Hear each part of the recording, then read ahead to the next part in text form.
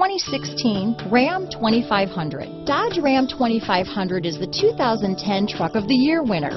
It's the hardest working truck in tow business. This vehicle has less than 100 miles. Here are some of this vehicle's great options.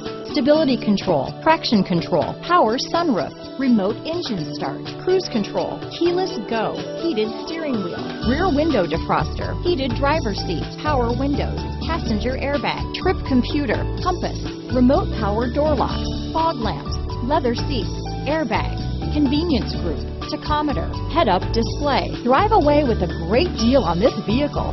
Call or stop in today.